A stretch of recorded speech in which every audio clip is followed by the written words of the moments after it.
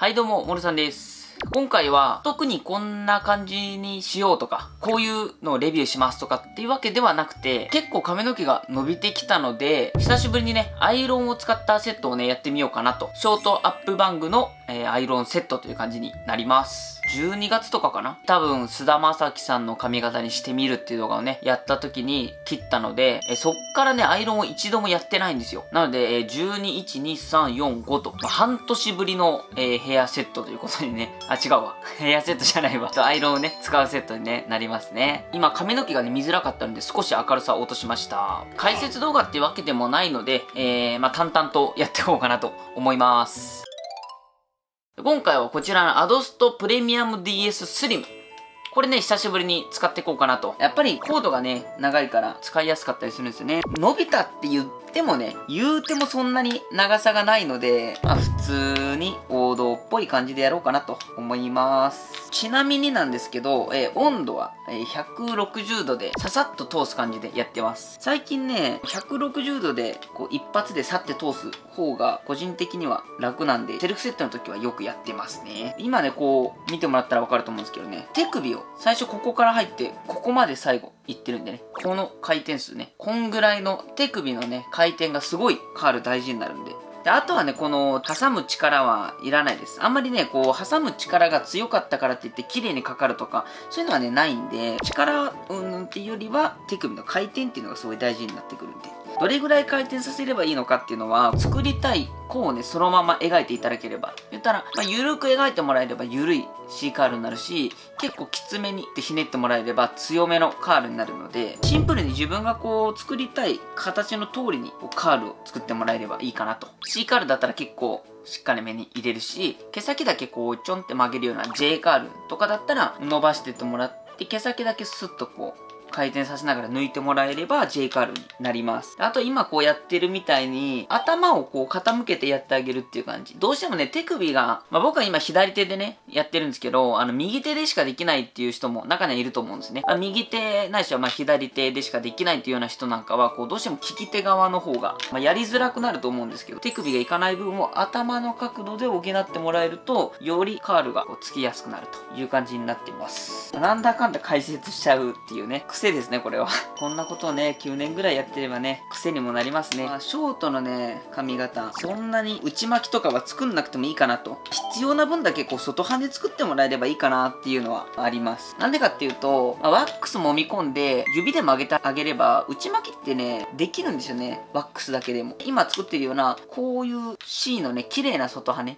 こういう外羽に関してはワックスつけたのを指でこうやってもねできないので、まあこれだけぶっちゃけアイロンでこう外羽だけさっさって通してワックスつけてもらって内巻きに関してはワックスで指でこう曲げてあげればいいんで。まあ全然大雑把にこんぐらいやってもらえればいいかなと思います。で今回ねこちらのワックスナチュラルをね使っていきたいと思います、まあ、最近はやっぱりワックスはナチュラルかエアばっかですね。新しいワックスでねオーシャントリコジェットっていうね真っ赤っかのワックスが出たんですけど、まあ、そちらまたねレビュー動画出したいと思うんですけど、まあ、僕はかなりダメージ網なのでナチュラルとかエアみたいなねすごい柔らかいワックスに説得力強いのをちょっと足すぐらいな感じでやった方が結構ねセットうまくいくんですよね、まあ、ぶっちゃけダメージ網なんでねあんまり説得力強いの使わなくてもこう握ればねかなり動いてくれるんでそんなに説得力はいらないかなって感じですね。まああとは僕みたいなダメージ網だけじゃなくてかなり髪の毛が長い人とかまあ例えばあのセンターパートとかねあとは多少ツヤが欲しいなんて人はもうエアーとかナチュラルとかはね全然単品使いでもかなり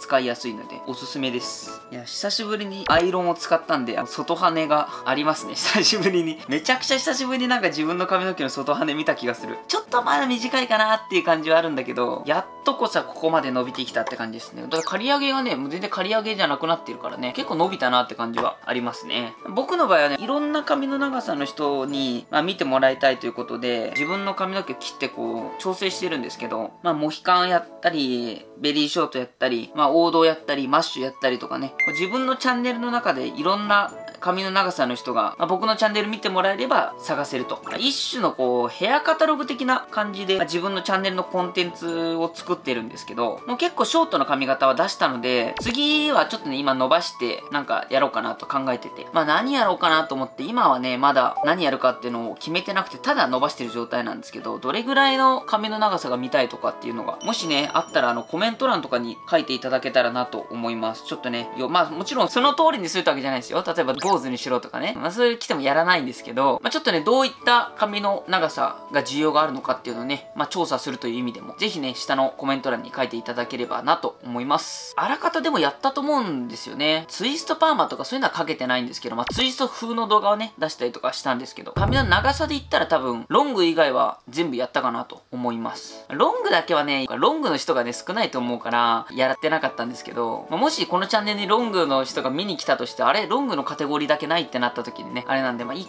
回やってもいいかなと思うんですけどね、こっから伸ばしたら多分、半年以上かかるからな ま伸ばしてる途中でね、またマッシュとか王道とか、まあいろいろできたらいいかなとは思ってます。はい、えー、喋ってたらこんな感じで終わりました。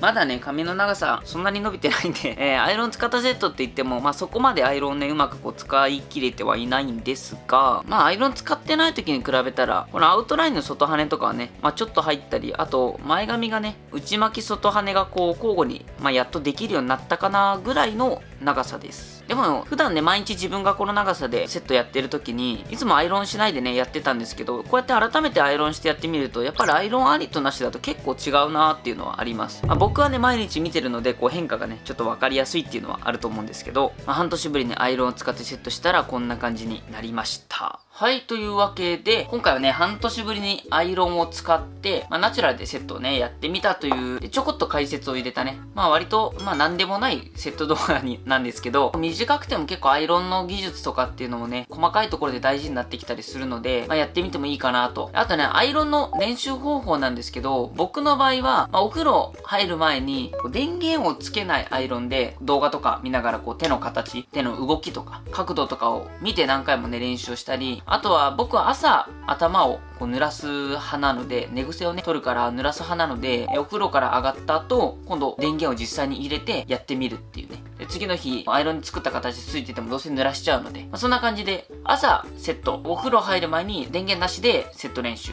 お風呂入った後に電源つけて練習って感じで、1日3回は練習やったりしてました。こうアイロンを使うっていうのもね、技術なので、まあ慣れっていうのがどうしても出てきちゃうのでね、こう何回も反復練習することで上手になってくるかなと思いますので、ぜひね、皆さんも電源つけなくてもね、手の形だけでもいいので練習たくさんしてみてください。それでは最後までご視聴いただきありがとうございました。また次の動画でお会いしましょう。バイバーイ。